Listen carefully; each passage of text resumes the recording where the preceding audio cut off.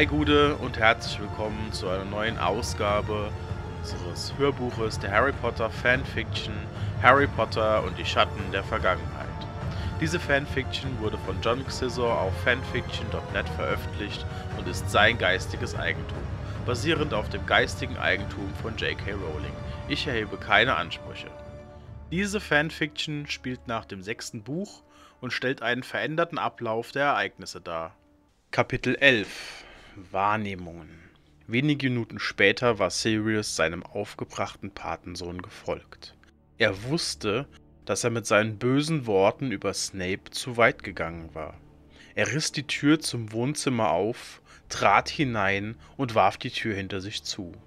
Erst da bemerkte er, dass Harry im Ohrensessel gesessen hatte, nun vor ihm stand und aufgeschreckt zur Tür starrte. Nur einen winzigen Augenblick wunderte sich Sirius darüber, dass Harry ihm nicht in die Augen sah. Harry, ich. Sirius hielt inne, als Harry sich wieder in den Ohrensessel setzte und die Augen schloss. Sirius atmete tief durch und begann erneut. Harry, ich wollte dich nicht verärgern. Aber trotzdem meine ich alles so, wie ich es sagte.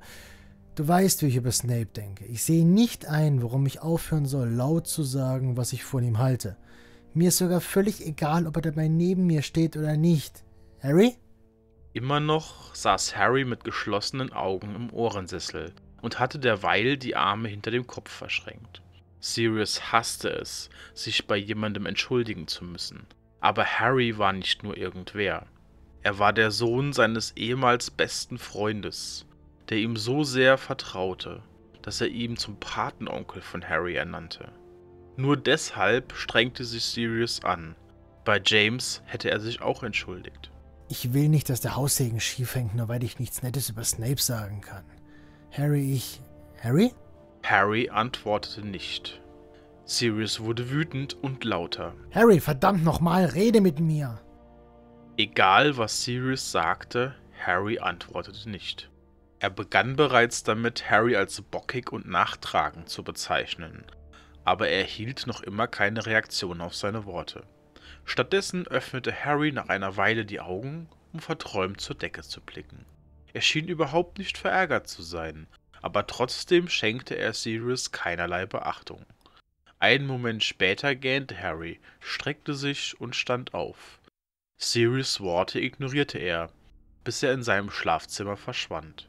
Für Sirius war es völlig neu, mit Nichtachtung gestraft zu werden. Umgehen konnte er damit nicht, aber diese Behandlung verfehlte seine Wirkung nicht. Das erste Mal in seinem Leben machte sich Sirius Gedanken darüber, ob er mit seinen Bemerkungen sogar Menschen verletzen konnte, auf die er es gar nicht abgesehen hatte. Am nächsten Morgen war Harry der Erste, der aufgestanden war. Die Zeiger seines Muggelweckers standen auf Viertel vor sieben aber er war bereits putzmunter. Anstatt die Hauselfen zu belästigen, die während Minervas Aufenthalt in Hogwarts verblieben waren, machte sich Harry mit der gemütlichen Küchennische vertraut. In den Schränken stieß er auf mehrere Sorten aromatisch duftenden Kaffees. Von einem ganz besonders würzig riechenden brühte er sich eine halbe Kanne voll. Die selbstgemachte Erdbeermarmelade in einem der Gläser roch so verführerisch, dass Harry sich eine Scheibe Brot dick mit Butter beschmierte, bevor er über die Marmelade herfiel. Er bemerkte nicht, dass Sirius in Unterhosen und T-Shirt am Türrahmen lehnte und ihn beobachtete. Harry nahm einen großen Bissen von seinem Marmeladenbrot. Gleich darauf zuckte er erschrocken zusammen, als er unerwartet die Stimme seines Paten hörte. Sprichst du wieder mit mir oder kann ich mir all meine Worte sparen? Marmelade klebte an den Mundwinkeln. Mit vollem Mund antwortete Harry verdutzt mit der Gegenfrage: Warum sollte ich nicht mit dir sprechen? Sirius schenkte ihm einen vorwurfsvollen Blick.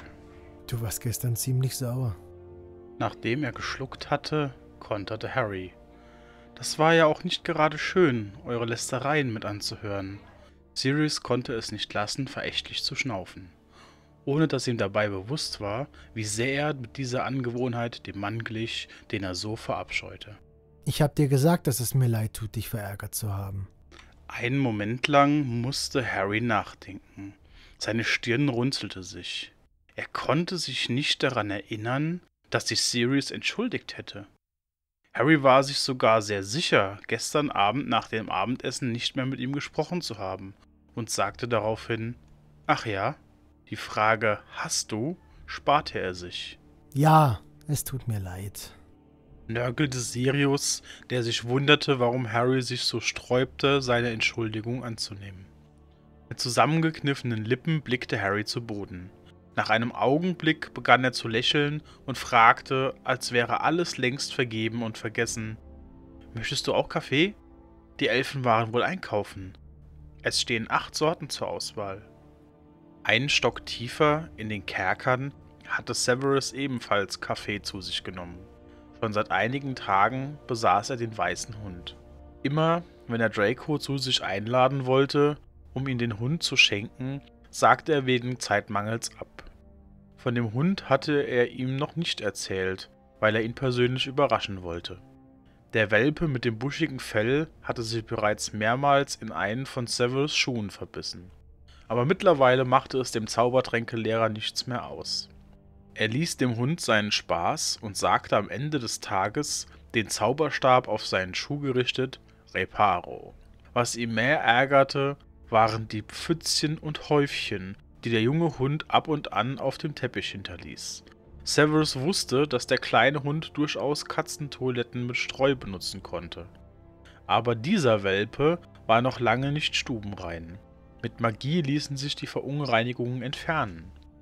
Ein weiteres Mal hatte Draco das Angebot seines Patenonkels abgelehnt, einen Tee mit ihm einzunehmen. Heute traf er sich mit Miss Bones in einem Restaurant in der Winkelgasse um mit ihr über die Situation seines Vaters zu sprechen. Als Miss Bones ihm mitteilte, dass sein Vater das Augenlicht zu verlieren schien, war er bestürzt. Es war wie ein Fausthieb des Schicksals, das ihm auf diese Weise sagen wollte, dass sich nichts zum Guten wenden würde. Betrübt blickte Draco auf seinen leeren Salatteller, als der Kellner an den Tisch kam und fragte, Darf es noch etwas sein? Miss Bones verneinte. Draco hingegen fragte niedergeschlagen: Haben Sie Oggens Old? Der Kellner nickte und nahm gleich die Bestellung auf, einen doppelten. Miss Bones erklärte, während Draco ununterbrochen an seinem Feuerwhisky nippte. Mr. Malfoy, es gibt noch andere Angelegenheiten, um die Sie sich kümmern sollten. Fragend zog er eine Augenbraue in die Höhe. Sie möchten doch sicher den Besitz Ihrer Familie zurückgewinnen. Das ist zwar nicht meine Abteilung, aber ich habe Ihnen die Formulare mitgebracht. Draco nahm ihr die Pergamente aus der Hand, aber er warf nur kurz einen Blick darauf, da er nicht mehr konzentriert lesen konnte. Octons Old Feuer Whisky war wirklich der beste. Vor allem wirkte er am schnellsten. Den Kellner winkte er gleich nochmal heran, um die Bestellung zu wiederholen. Der Kellner berührte das Glas des Gastes mit seinem Zauberstab, woraufhin es sich nochmals füllte. Besorgt beugte sich Miss Bones ihm nach vorne und empfahl. Mr. Malfoy, ich denke, es ist wichtig, dass Sie verstehen, was ich zu sagen habe. Sie sollten vielleicht nicht so viel trinken. Ach ja? unterbrach er sie mit einem gehässigen Tonfall nur helfen. Warum, frage ich mich. Ist es nur, weil sie so ein großes Herz haben oder weil sie so außerordentlich naiv sind? Ich scheine ja einen recht erbärmlichen Eindruck auf sie zu machen. Mit zusammengepressten Lippen blickte Miss Bones Draco in die Augen. Sie stoppte ihn nicht, als er boshaft fortfuhr. Oder haben Sie vielleicht während Ihres vermehrten Kontakts mit meinem Vater ein Auge auf das ansehnliche Erbe der Malfoys geworfen? Mir ist so etwas vorzuwerfen. Ungeheuerlich! Wütend schüttelte Susan den Kopf. Durch diese Beschuldigung fühlte sie sich sehr getroffen. Sie kämpfte erfolgreich dafür, ihn nicht sehen zu lassen, wie traurig sie diese Bemerkung machte. Dass einige Gäste und der Kellner bereits aufmerksam auf die beiden geworden waren, war ihr nicht entgangen. Mit viel Mühe drosselte sie ihre Stimme, als sie enttäuscht sagte. Ja, Mr. Malfoy. Im Moment machen Sie in der Tat einen erbärmlichen Eindruck auf mich. Bevor Draco etwas erwidern konnte, fügte sie freudlos hinzu. Aber erst, seit Sie getrunken haben. Völlig perplex beobachtete Draco Miss Bones dabei, wie sie einige Galeonen auf den Tisch legte und aufstand. Offensichtlich bestürzt über den Verlauf des Abends verabschiedete sie sich formell, beinahe sogar kühl. Auf Wiedersehen, Mr. Malfoy. Draco blickte ihr nach, bis sie nicht mehr zu sehen war. Nachdem er einige Gaffer in ungehörigem Ton zurechtgewiesen hatte, bestellte er einen weiteren Whisky. Und noch einen.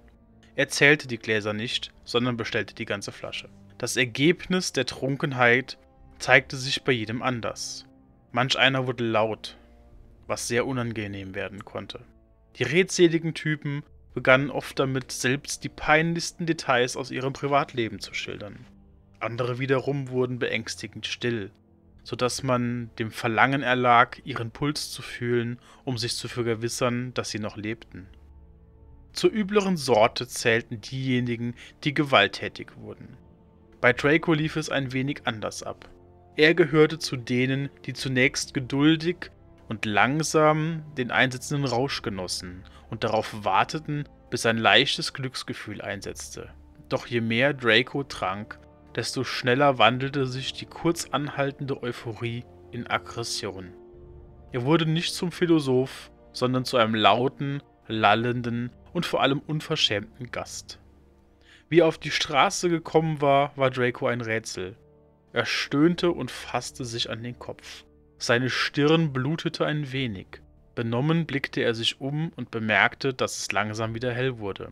Es musste vier oder fünf Uhr morgens sein. Mit einem Male erinnerte er sich an den Vorabend, wenn auch nur neblig.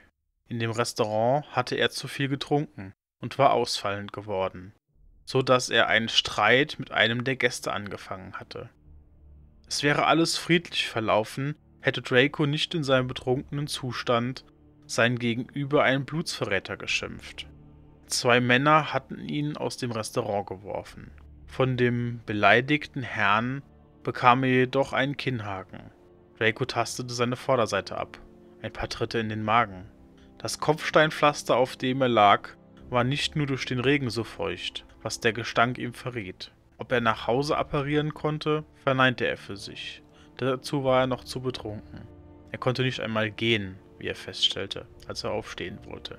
Sein Verstand war völlig verklärt.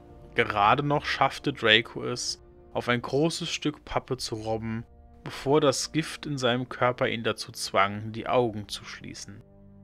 Im Nu fiel er in einen traumlosen Schlaf. Soweit zum heutigen Teil unserer Harry Potter Fanfiction Harry Potter und die Schatten der Vergangenheit. Vielen Dank fürs Zuhören. Wenn es euch gefallen hat, lasst uns einen Daumen nach oben da. Wenn ihr möchtet, gerne auch einen Kommentar, denn die Feedback Challenge ist immer noch on. Natürlich freuen wir uns auch über ein Abo. Ciao, bis zum nächsten Mal.